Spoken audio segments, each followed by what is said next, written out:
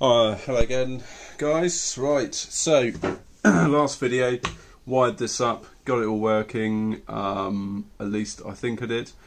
Uh, so this, the PID is currently showing. This is the set point, which is the desired temperature, and this is the current temperature. So it's not 422 degrees Celsius in my kettle right now. Um, would you believe it?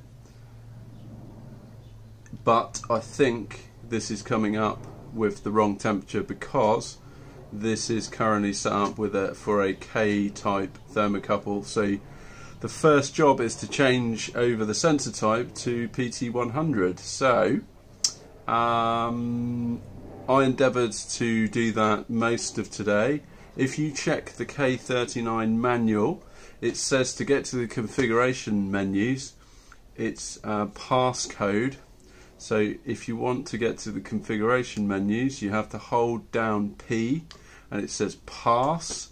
Bear in mind that there is a time limit on this. If you use the up and down buttons, you can change the number. It even, even has minuses, which is mental, and there's four digits.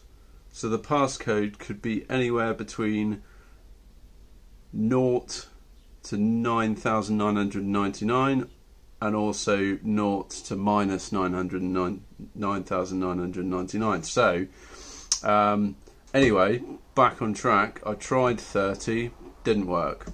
So, if you try 30, it will not do anything. Let me show you. All it does is just return you to the original menu. Ready? There you go. So I contacted Rich uh, at eBay. Um, apparently, I'm not the only one that's been asking this question. Uh, he managed to find a document online which was like a quick reference guide. Anyway, long story short, the passcode is 1381, which of course is really obvious. Um, can't believe I didn't think of that off the bat. So and I have just checked it and it does work. So if you go enter 1381 thankfully this goes by pretty quickly. You can then enter and press P again. You now got the various options which you can I believe PT1 so I think maybe you press P to enter I've got no idea past this point so exit that. Um, and I aha there you go. So apparently it is now reading 18 degrees and you might be able to hear that if you listen carefully.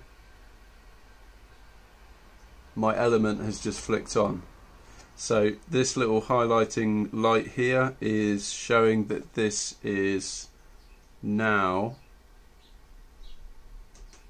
attempting to heat which is weird because I've got the set point value at 0 and that's currently 18 so no I don't want that I'm going to change the set point to 20 so 25 that'll do. Uh, alright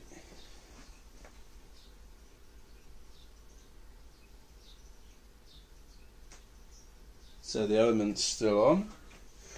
So there may be some other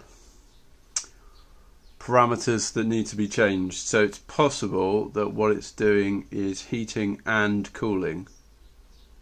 I don't know. I'm making this up as we go along. So I need to check the manual, check out the configurations. Now I've got the passcode. All good. So hopefully I've shown you how to change from the K-type thermocouple, which is the default option, to the PT100 option, which is the sensor. Um, cool. I'll be back in a sec. Right, guys, I think I have sorted it um, after much reading of a very confusing manual and playing around with this thing. Um, when I first configured it, it started to turn on even when the temperature was above the value that I wanted it at. Excuse me. A, few home brews helped. Shout out to Steve Ogden for keeping me sane. Um, right, I'll talk you through what I did. So if you go into the passcode, uh, 1318, a famous year.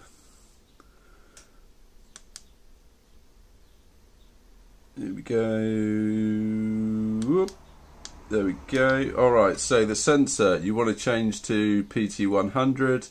Um, this passcode entry 1318 will not time out, uh, which is really helpful.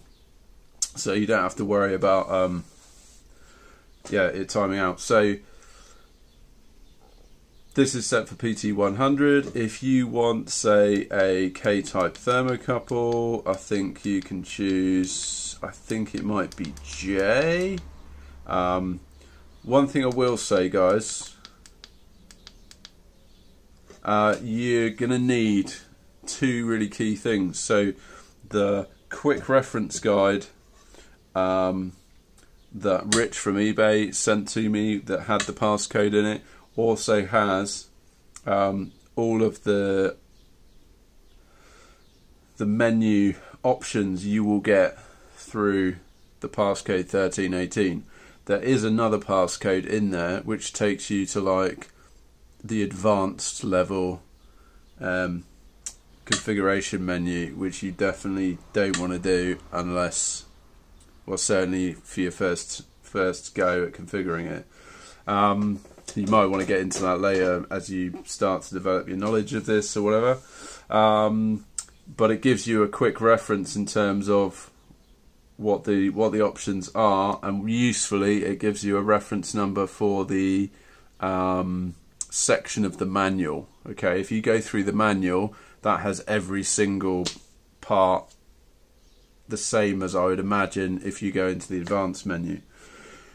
Anyway, all of that. So I want PT100. So in terms of navigation, you can change uh, whatever you want, the value of it, using the up and down keys. Um, if you press U, that will go back to the previous option, which is in this case sensor. Uh, if you press and hold U, that will exit the configuration mode. So uh, I want PT1, so I'll press P to select that. Right, this is decimal point. So if you guys really want decimal points, you can go right up to one decimal point. Um, it actually, what I've found is it takes longer to toggle through uh, temperatures um, so if you're really that fast, then set 1. If you're not, just set 0. I'm going to keep it on 0. Press P. Uh, units, you got Celsius and Fahrenheit. Easy. P. Right. Output 1. So given this has only got one SSR in it, you are only going to get one output. This PID can do heat and cool. So in theory, you could connect up um, a fridge to it if you wanted to, or uh, some sort of cooling unit. I don't know. It's not what I want it for. So I've set it to heating reg. I don't know what that means. This is the heating one. This is the one you want, yeah? So select that. This is output 2, set to none. You can sc uh, scroll through, you go to none. Right, continuous. This is where you need to change the options uh, to this on FA. So this will ensure that it kind of flicks on and off to maintain the temperature that you set. Um, so select that. Uh, I left this as 1, I'm not even sure what that is. Uh, I set this to SSR as there is an SSR in here.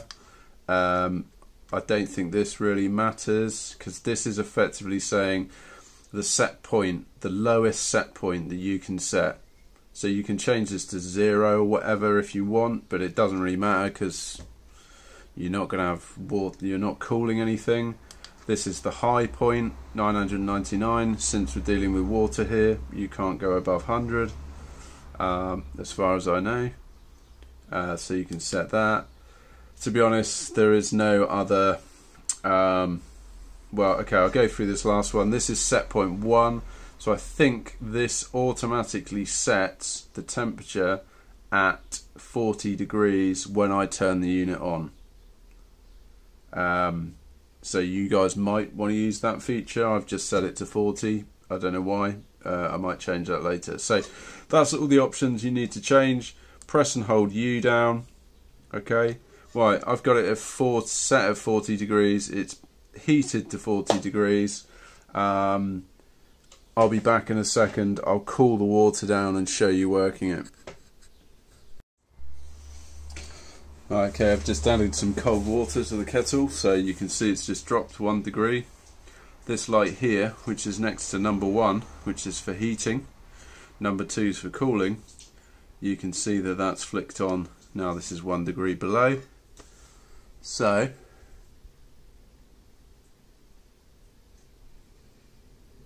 you should hear the element flicking, flicking on and firing.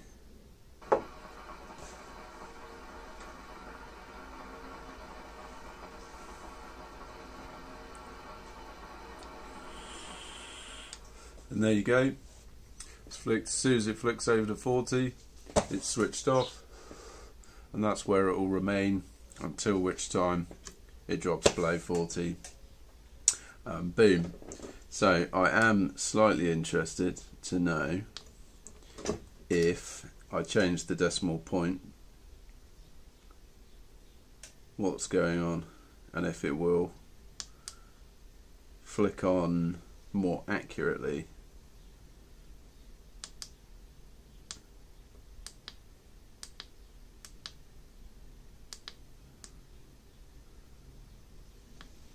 Alright, so you can see there it's at actually at 39.5, 39.4 so it's it's not flicking on.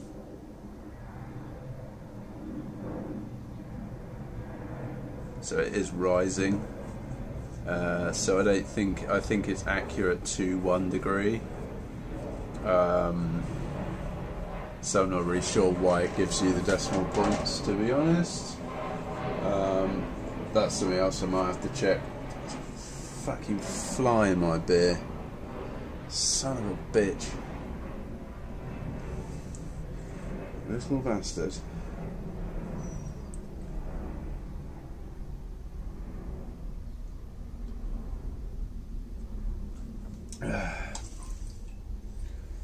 yeah, that's it then guys. Configured, should work, wired, hopefully that's helpful for you guys. Cheers and time for another home brew.